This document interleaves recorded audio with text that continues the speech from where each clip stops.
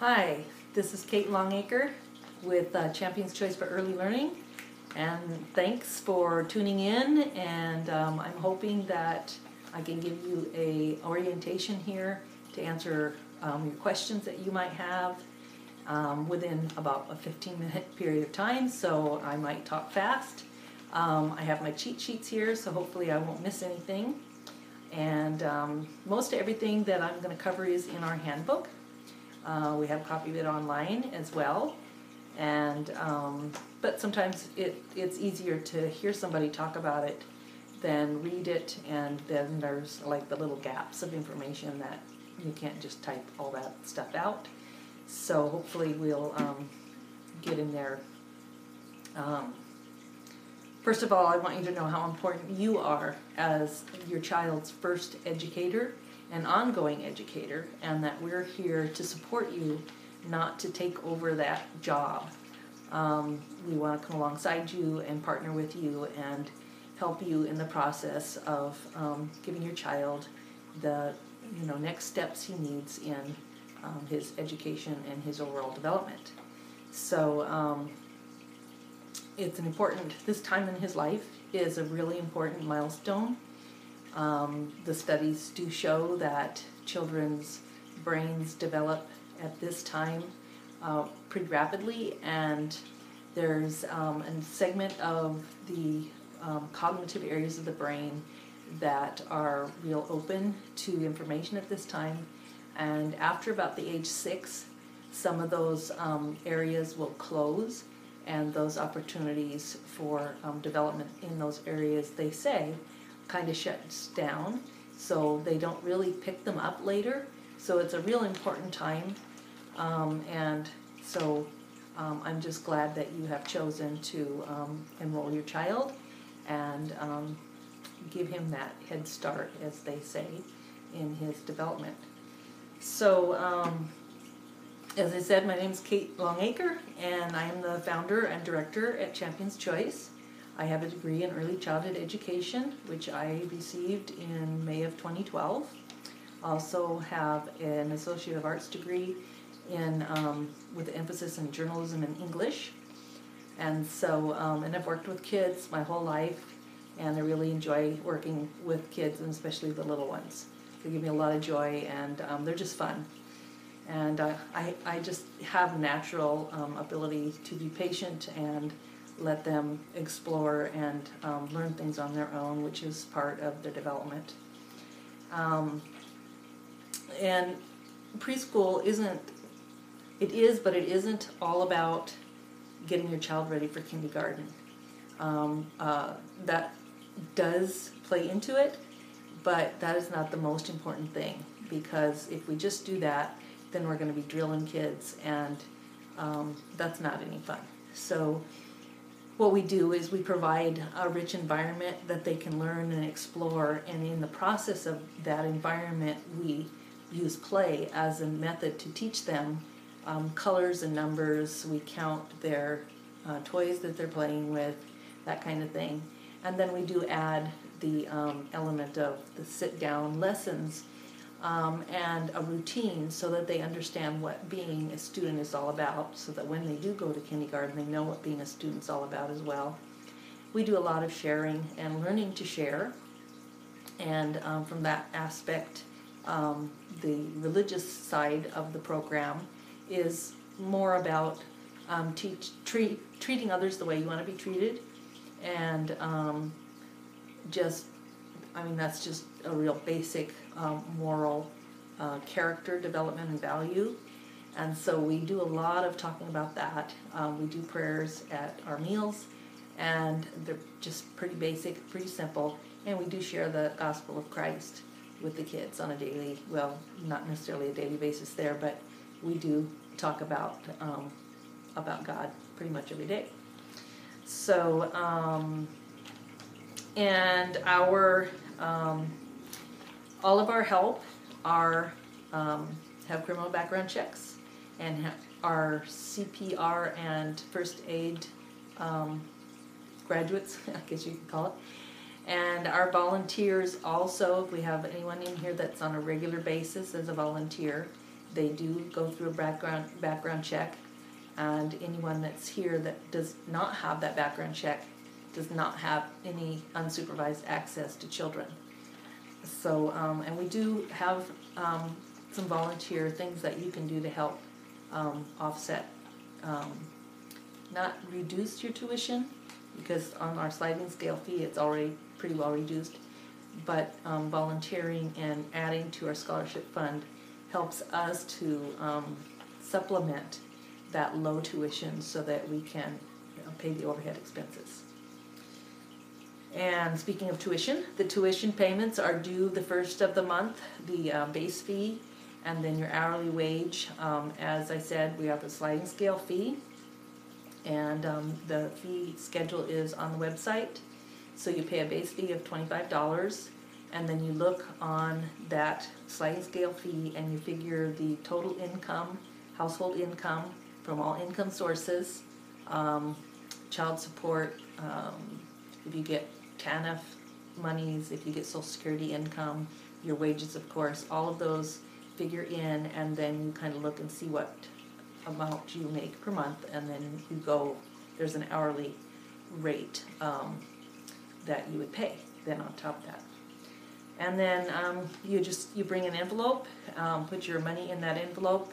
Uh, you do have to mark on there how much you're paying per hour. That's how we kind of keep track of whether you're up to date or not and there's a folder by the door that you put that in. And we will not ask you to verify your income. Um, we don't want to get into all that. It's the honor system, so we just trust that you are being honest about what your income is.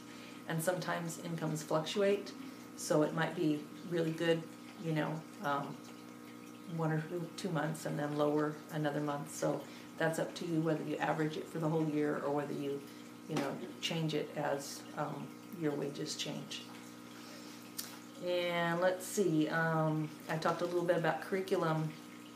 We use a number of different curriculums to um, come together and make a whole program. Um, we do some themes, especially around the holidays. Um, we, um, I haven't found a complete curriculum that I really like that has just uh, the right mix of um, class time and playtime and activities. Um, so I kind of just put a few different things together and work it that way. There is a sign in and sign out sheet by the door. That's how we keep track of, um, you know, who's here. Especially if we have an emergency, we can grab that, run outside. And we know all the kids are here, make sure that they're all accounted for. So um, you'll want to check that out. It's also how we keep track of um, uh, your hours and, and how much you've paid or what hours have been covered. And let's see. Um, yes, we do ask that you bring lunch, and we ask that you bring a healthy, um, a healthy lunch. We try to avoid the cookies and things because the kids aren't quite understanding. I mean, we're teaching them to share, so they want to share their food as well. When one child comes with cookies and nobody else has it, it kind of creates a problem. He doesn't really want to give it up, and I'm not going to make him give it up. Um, but you know, so we try to um, avoid the sweets. And occasionally, you'll be asked to bring snacks. Um, we'll have a snack schedule made out for that, and those snacks should be healthy. Um, no processed sugars, or well, we try to avoid processed foods, but um, things that are low in sugar and no high fructose corn syrup. That's that really kind of gets kids hyped up. Um, birthdays, we don't do a real big a birthday party thing. If you want your child to, you know, his friends to enjoy his birthday with him, cookies or cupcake or something like that. But we don't get into gifts and all of that kind of stuff. Just a recognition that it is his birthday. Uh, we do discourage them from bringing toys from home unless it's like their favorite cuddly and they can't get along without it. Um, but we try to put those in their little cubby space because if it's here, then they'd be expected to share it and they somebody else might break it. So uh, we try to discourage that. Sometimes we have a child who just cannot come to school without bringing some toys. And so we might go through a little season of that child having those toys here. And um, after a bit, usually that that ends, you know. So, um, but we tried to discourage that. Let's see, and um, and no weapons, no toy weapons, um, and we discourage those kinds of fighting games and um, that kind of thing too. It's not always easy to do, but we try to talk about, you know, doing good things rather than um, hurting and harming others. Um, sometimes when we're making stories up, um, it's hard to dissuade the children from having the somebody die in the story, you know, and um, and so occasionally we kind of have to go with it. I don't want to destroy their creativity by saying no, no, no, but at the same time I try to say, well, what if you know, what if he doesn't die? What else could he do? So if you see uh, a, the character die, um, you know, it's it's uh, something we couldn't dissuade him from. Uh, we do have field trips from, from on occasion, but we do not transport children. So when we do have field trips, um, the parents usually get together and do some ride sharing and that kind of thing. And parents are always welcome to come on field trips. In fact, you're always welcome to come and sit in and observe or assist. Um, if your child is having a, a hard day and you feel like you want to kind of hang out, that's fine. Um, yeah, so just anytime that's okay. Illnesses, we want it's in the handbook and on the website if you have any questions. Um, kind of the rule of thumb is if they have a fever, they need to stay home at least 24 hours after the fever breaks. Um, if they're vomiting or coughing a lot, you know, um, and um, if they have a sore throat that's lasted, you know, for a day or whatever, then um, they need to stay home.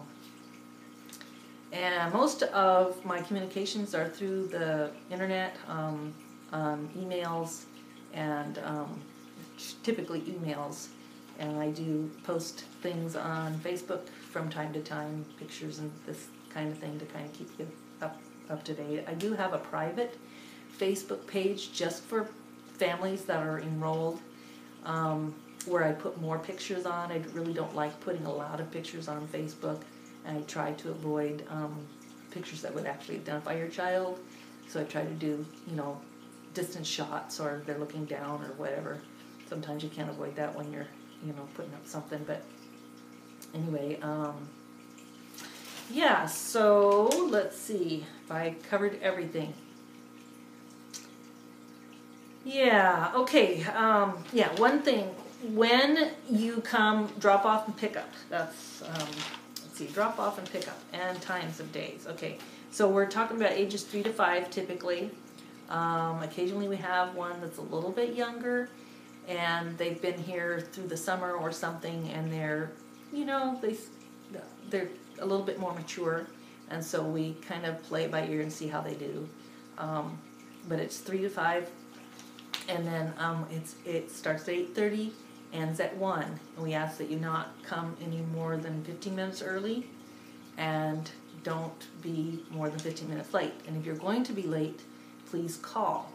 And we do have kind of a policy so that people don't take advantage of that and end up I'm here, you know, for an hour waiting for a parent and I've made all the calls and nobody's around. So we do have a policy that if you're going to be late and you don't call, that we will call the police if we cannot get a hold of you or your emergency people um, to, you know, find you. Um, and then, yeah, and so kids kind of, when it's time to to leave, that transition period can be difficult for them because they won't, don't want to quit playing. They're engaged in what they're doing, and sometimes they have a difficult time. You know, parents have a difficult time getting them to go.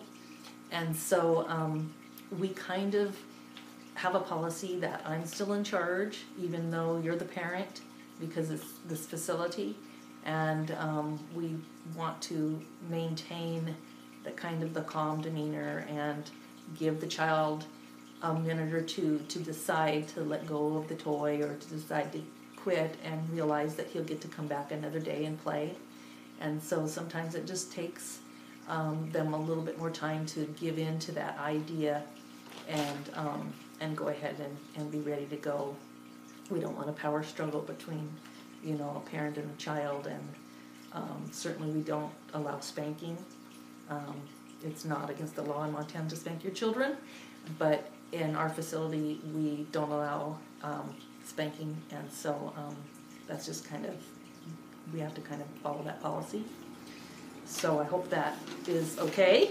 Um, and if you have any questions about that, just ask.